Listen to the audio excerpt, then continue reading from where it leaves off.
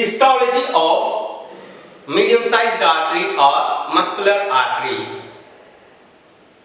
Histologically, there are five main blood vessels. They are artery, arteriole, capillaries, venules and veins. All these blood vessels have basically the same structures. Each one has three coats or tunics, namely tunica adventitia, tunica media and tunica intima. Tunica adventitia, it is the outermost layer which is made up of loose connective tissue and contains vasa vasorum and unmyelinated sympathetic fibers that is nervi vasorum.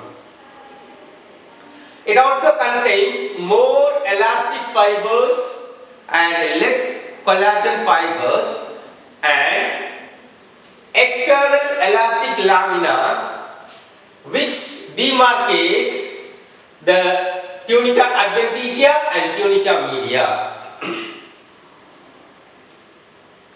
tunica media, it is the middle layer which is made up of smooth muscle fibers and elastic fibers. In the medium-sized artery or muscular artery, the tunica media contains more smooth muscle fibers and less elastic fibers. Hence the name muscular artery. Tunica intima. It is the innermost layer which is made up of endothelium and internal elastic lamina. The endothelium is nothing but the simple squamous epithelium lining the lumen of the blood vessels. Difference between large or elastic artery and medium or muscular artery.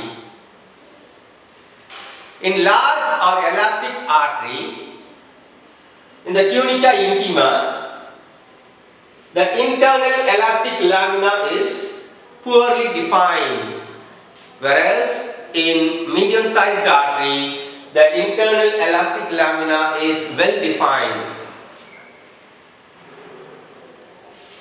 Presence of subendothelial connective tissue in large or elastic artery.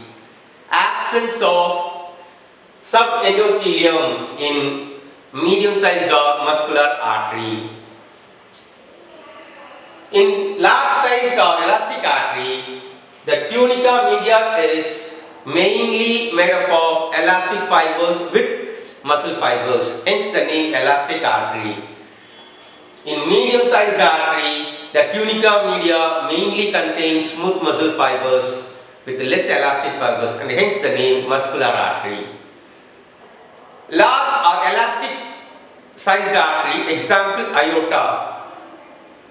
Medium sized or muscular artery, example radial artery, brachial artery, femoral artery. Thank you.